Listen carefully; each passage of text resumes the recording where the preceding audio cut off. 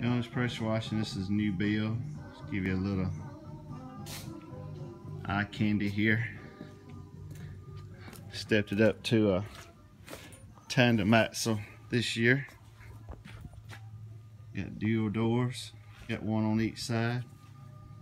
Gonna be running uh, reels on this side to go towards my house. It's that's the curb side. This would be my access side going in. Center the tank on this one. I'm gonna run two machines. One over this corner, one on the other corner. Uh, I really figured out what I'm gonna do here in this front. Epoxy floor. It's got some old cheap white paint on the wall, kind of brighten things up in there. 275 gallon uh, tote.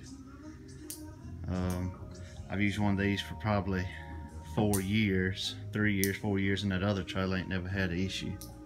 So I didn't see the point of going and spending a lot of money on a tank when I can just get one of these for free. So uh, starting on it day one. Well, I say day one, I painted the floor and walls, but I got the tank in today and uh, kind of like the setup on my other trailer. Just gonna move the reels to that door on the right up there.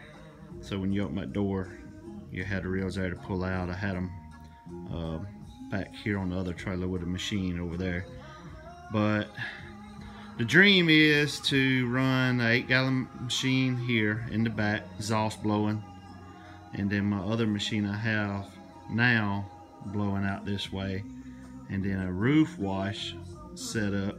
I'm gonna put it right here towards the back on this side of the tank.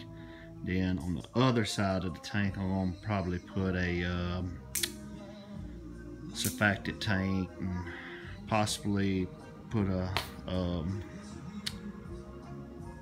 sodium hypochlorite tank up on that end. But you know, I don't know what I'm gonna do yet.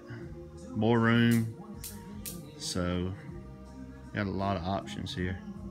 But anyway, just gonna give y'all a little insight what's going on. Uh, talk to you later.